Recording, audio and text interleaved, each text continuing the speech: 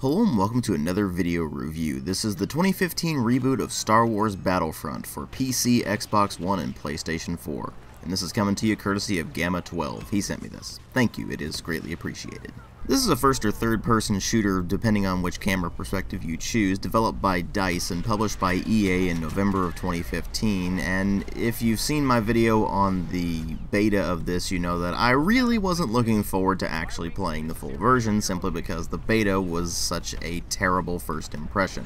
It was all style and no substance, and really didn't play much of anything like the original Star Wars Battlefront or Battlefront 2, and of course, with the concerns over how little content is actually in this game, it was very unfavorably compared to those two games. But of course that was going off of the beta and of course the pre-release announcements regarding the game, so let's go ahead and delve into this thing and find out exactly how it is, particularly now that it's had its first DLC, which was the Battle of Jakku. Well, as far as the presentation goes, they pretty much nailed it in nearly every regard. This game looks phenomenal everything is modeled down to the smallest detail. The texture quality is excellent, the animations are very smooth and fluid for the most part, although the hero animations can be a bit wonky sometimes and in particular the particle effects and explosions look absolutely fantastic in this thing. And when you go to the sound design, there's two particular aspects of it that are downright phenomenal. First off, the sound effects themselves. They absolutely nailed the Star Wars sound effects. Everything sounds exactly as you would expect it to after having seen the movies. And so when you're firing those blasters or swinging your lightsaber or whatever it may well be, it sounds absolutely fantastic. And if you're in a valley or gorge environment, the echo is phenomenal as well.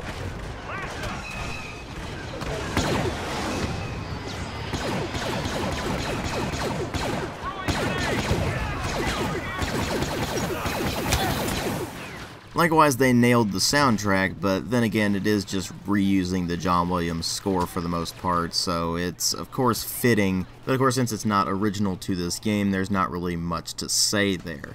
But then there's the one really nasty part of the sound design, and that is the voice acting. Well, some of it anyway. When it comes to the normal battle chatter between the various soldiers, it sounds actually rather good. It's exactly as you'd expect, and is pretty high quality. But then there are the heroes apart from Emperor Palpatine. You see, Palpatine is voiced by Sam Witwer, who voiced him in the Star Wars Rebels series, and he actually does a rather good Emperor Palpatine voice. So the Emperor actually sounds pretty good, and Boba Fett sounds okay, not amazing, but everyone else sounds downright awful. Darth Vader in particular just sounds laughably bad. Your weakness is your undoing. And it's kind of weird that they managed to get the visuals down so well and get the sound effects and the music down so well, and then they skimped on the voice acting. At least they finally patched in the Hoth outfit for Luke Skywalker instead of having him run around in his black outfit with his green lightsaber and Hoth. But the proper Hoth outfit for Luke wasn't added until January, and in fact they added it along with Han Solo's proper Hoth outfit, which of course I didn't notice until I actually got my hands on the patch notes because I didn't have the full game until now, and Han Solo wasn't in the beta. And hell, they just patched in the proper indoor outfit for Princess Leia, and that's as I'm recording this video was a couple of days ago in the February update. It's just kind of baffling that they would put so much time and effort into making everything as authentic as possible and then just screw up entirely when it comes to certain uh, parts of the authenticity. It doesn't make any sense, but at least the presentation overall is generally pretty fantastic. But of course what really matter here are the story and the gameplay, except in this one the story doesn't really matter because it is just various battles set in the Galactic Civil War. There is no single player campaign, instead you get a series of missions that you can play either solo or co-op, which are generally set up after things that you would find in the normal versus multiplayer, except that they include things like the survival mode where you're trying to hold off against waves of enemies, and if you've seen my MTO on the beta of this, then you've seen seen that mode. It's just a pretty basic horde mode, and pretty much everything else that you'll find is just the offline version of things that you'll find in the normal multiplayer. So I'm really going to talk more about the multiplayer itself than anything else. Pretty much nobody is playing this thing for the single player or even the co-op because it feels incredibly tacked on. And when you go to the multiplayer, things really aren't that much different from the single player, actually, in terms of feeling like things were tacked on. The game feels like it was built entirely around the Walker Assault mode and nothing else. While they do give you a few modes to mess around with, the only one that really does feel fleshed out and actually like it's worth anything is the Walker Assault mode. The others are generally smaller scale and they are much more nuanced like the Fighter Squadron mode, where you fly around in a starfighter and dogfight with other starfighters until various ships show up that you need to destroy or defend, in which case you still continue dogfighting and you just try to prevent the enemy team from destroying your ship, or you're trying to destroy the enemy's ship. And it's a pretty straightforward mode, you're basically just fighting for points. Other modes include things like cargo, which is straight up capture the flag, only with cargo instead of flags. Drop zone, which is kind of a king of the hill mode, or if you've seen my MTL in the beta, you've seen this mode as well. The drop pod shoots in, and then you have to secure it and hold it for a length of time until you'll eventually get points. If you can't see the pattern here, it's basically just modes that you've seen in every other FPS in the past decade, only with a Star Wars coat of paint and the mechanics of the Battlefront reboot applied to them, which means that basically nobody plays anything but the Walker Assault mode in this. You might occasionally get into a Fighter Squadron match, or a Heroes vs. Villains, or maybe a Cargo match, but more often than not, they are not going to be full games and people will be rage quitting an awful lot. Now, I'll go back to the heroes versus villains mentioned later, but let's go ahead and talk about the actual core mechanics of this. You have your blaster and you have three item slots. Two of the item slots are just basic cards that have a cooldown. So, for example, a thermal detonator or the sniper rifles that you can get, or the jump pack or things like that. The other slot is for your charge slot and these are various powers that require charge in order to actually use. You can find charge pickups as you run around the maps as long as you have a charge power equipped. And speaking of pickups, there are a bunch of other things you can find scattered throughout the map. Things like the infantry turrets or vehicle turrets that are better against infantry or vehicles respectively, or droids that will follow you around and scan enemies and occasionally attack them, or things like the orbital strike or the thermal imploder which are very very powerful weapons that you can use. Things like that and those occupy the fourth slot that you get and they are not replenishable so where your first and your third are just on a cooldown timer and your second slot your charge slot it requires charge pickups to use the fourth slot is a one use and then done kind of deal now when you go to edit your loadout, you're going to find when you start off the game that you have absolutely nothing available to you. The only thing you get is your basic blaster and nothing else. If you want to do anything in this game, you're gonna have to unlock it using the credits and level system that are in this game. The level system is much the same as any other modern FPS. You gain experience points by completing objectives, killing enemies, doing whatever really in-game. And once you get past a certain threshold, you will level up and unlock new things. And by unlock things, I mean unlock the ability to purchase those things with the in-game credits that you earn. The credits are earned by simply playing the game and doing whatever in-game, and whatever points you earn specifically for a match are converted into credits at a much lower rate. So, for example, if you get 7,000 points in game, you're going to earn 700 credits for it. You can then go to edit your loadout and if you have unlocked something but you haven't purchased it yet, you can then purchase it as long as you have the requisite amount of credits for it, and then it is available to you from then on out. The thing is that it doesn't really make a whole lot of sense to have them have the credit system and the level system because it does two things. The first of these is turn the game into a complete grind. The second is give players who have put more time into the game objective advantages over newer players. Eventually you will unlock abilities that will actually give you statistical advantages over other players, in addition to simply having better weapons and more stuff to work with in terms of actual items. So to give you an example, you don't unlock the jump pack until level 13. The thing is that it took me about 6 to 7 hours to get to that point. And the jump pack itself is pretty much required for certain maps, otherwise you're just going to be running around in circles for quite some time without anything happening. And because the thermal detonator is one of the earliest things you unlock, pretty much everybody uses it, and thus grenade spam is ridiculous. Even worse than Call of Duty 4, and Call of Duty 4 had some of the worst grenade spam you will ever see in any video game ever. So the unlock system ends up being really problematic and in fact is actually worse than even Battlefield 4 and Battlefield 4 had one of the most unbalanced unlock systems I've seen in quite some time. I honestly can't figure out what DICE is thinking at this point considering their unlock systems have gotten worse with each subsequent game they put them in. So if that trend continues then the next Battlefield game will have the worst unlock system of all time most likely, but I digress. Apart from the ridiculous amount of star cards that you can get that will give you various items that you can use in-game, as well as the ones that will give you various stat bonuses, you can also use your credits to unlock new blasters as well as new options for your appearance. Of course, the appearance options are downright laughable for the most part. I mean, you get male or female stormtrooper or rebel trooper, and you can pick the head that shows up on it. If you're on the Rebel Alliance side, you can pick alien heads to change things up, so you can be a Twi'lek or a Quarren or something like that.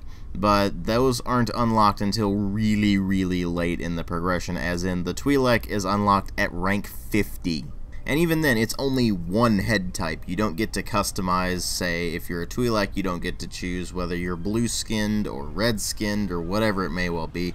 Nor can you even pick the language that your character speaks, because Twi'leks speak more than simply their own language. Obviously, in a lot of cases, they speak Galactic Basic, so if you wanted your Twi'lek speaking actual Basic, then, well, too bad, because they're not going to do it. Hell, you can't even pick whether it's a male or female Twi'lek. It's always a female Twi'lek. And the same thing goes for the other alien races as well. The Quarren are all male, the Rodians are all male, etc.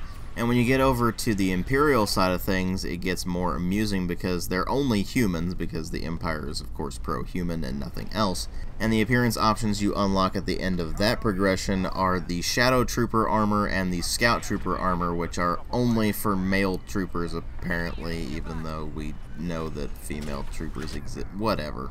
Point being that the appearance stuff feels like it was a complete afterthought that they threw in there just to have something with regards to appearance customization and probably just so you could waste more credits. Credits that could be spent much better by actually getting a new blaster or getting a new star card, with the star cards being preferable to the blasters because honestly the blasters you start with are a decent middle of the road. The only real difference between the ones that the Empire and the Rebels get is rate of fire and honestly I find that the rate of fire is generally more important in that particular case simply because pretty much everything else on those two blasters is completely equal. Once you get beyond those two blasters is where things get a bit more interesting because you have your blasters that are basically heavy machine guns, you have one that's a three round burst rifle, you have a couple that are high damage but low rate of fire, and of course you have a bunch of blaster pistols that are generally a higher rate of fire and much more dangerous up close than they are at longer ranges. The thing is that the DL44 blaster is objectively the best gun in the entire game.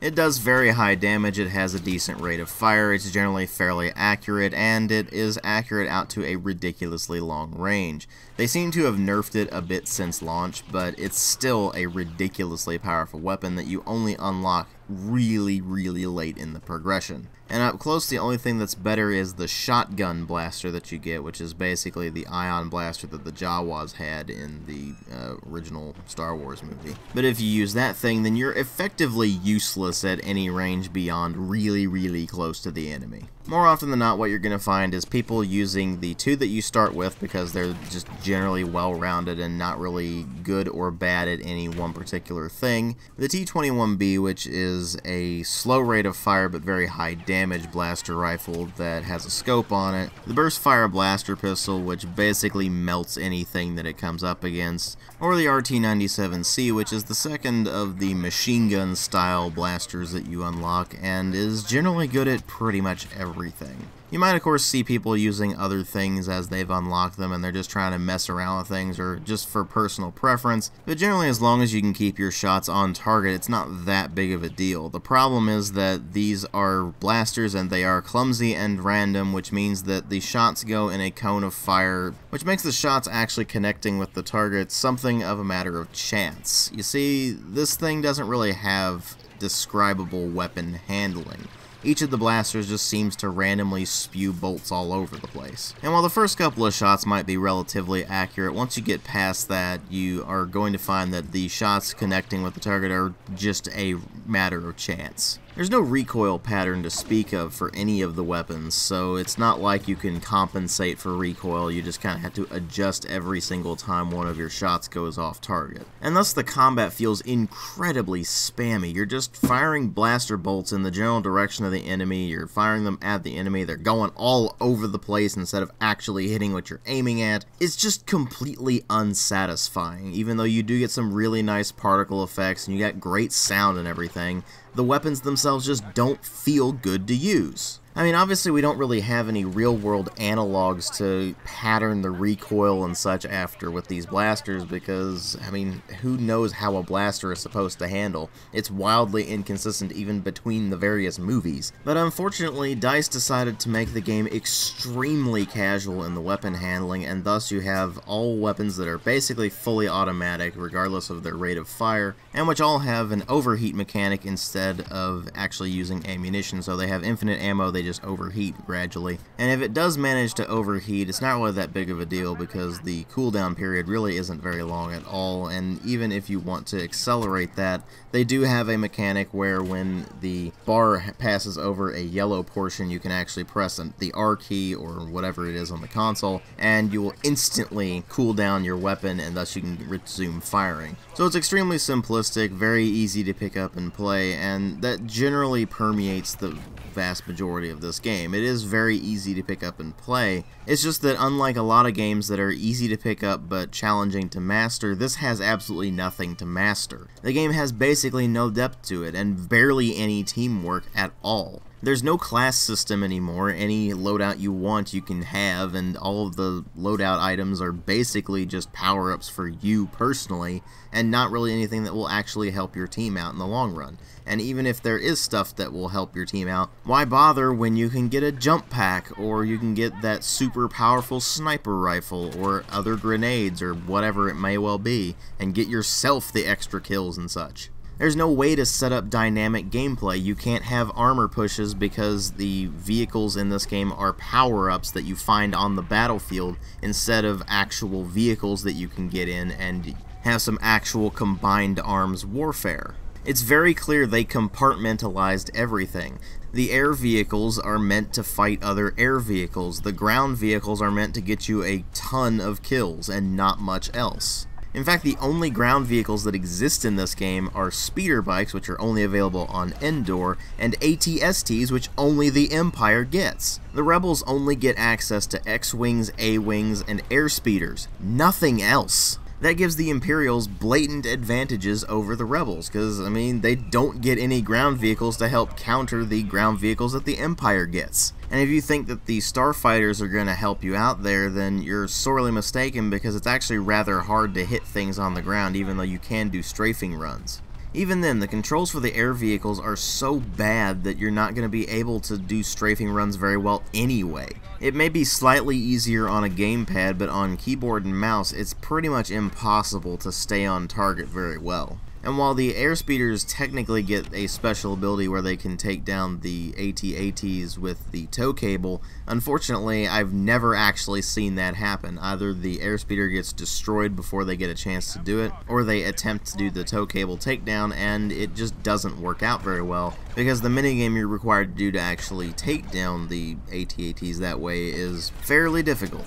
So the air vehicles end up just fighting other air vehicles for the most part, and thus they don't really contribute anything to your team either. So it's just kind of a free-for-all. You run into the match, you get as many kills as you possibly can before you die, you respawn, and you repeat the process. And that is absolutely personified by the heroes that you can get access to if you got a power-up while running around the map, or if you're playing one of the modes that actually starts you out as a hero, like, say, Heroes vs. Villains.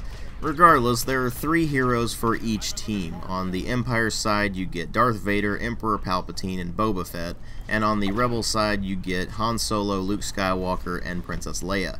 Each of them gets three special abilities and a primary weapon, and the primary weapon is pretty much what you would expect for each of the characters. For example, Luke and Darth Vader both get lightsabers, the Emperor shoots lightning from his hands, Princess Leia and Han both get blasters. And Princess Leia and the Emperor are special in that they can actually spawn honor guards, which are basically mini hero units. They get a very specific loadout and they can take a lot more damage than most other players can, but they can't regenerate their health. But they do spawn wherever the Emperor or Princess Leia is, so they are very useful if you need to get into the fray very quickly, and they are great for getting a bunch of kills, of course. But that's the thing, these hero units are all about the kills, and Princess Leia really stands out of the crowd because she's basically the only one that has proper support abilities. She can drop healing items for the other heroes to pick up, and she can drop an energy shield to absorb enemy fire. Meanwhile, Boba Fett is the only one with a perpetual jetpack, and of course he can just fly around and lay waste to pretty much everything everywhere. And if you use them correctly, the heroes are basically unstoppable. If you're, for example, Darth Vader or Luke Skywalker in a very confined environment,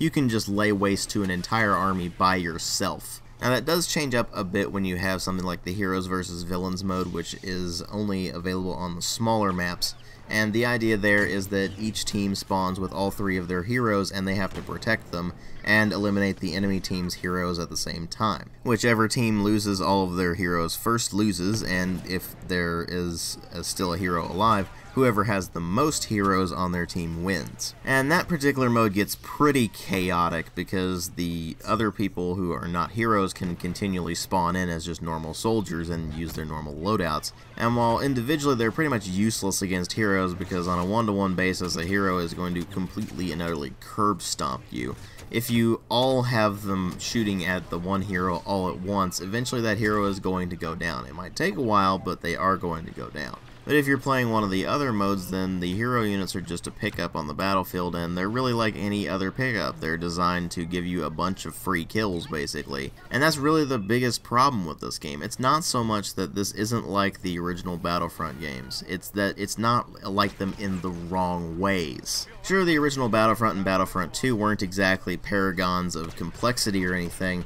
but they understood that teamwork was a thing. You had a class system, and each class had a pretty specific role. There were vehicles on the map that you could jump into and have combined arms warfare. There was a huge number of players available on every map. And of course you had the Galactic Civil War era and the Clone Wars era so the amount of content was downright huge. When you get to Battlefront 2015, they stripped away pretty much everything that made Battlefront Battlefront. And what you're left with is a ridiculously casualized first person or third person shooter that has basically no value to it whatsoever. I mean, seriously, remove the Star Wars license, and what would you have?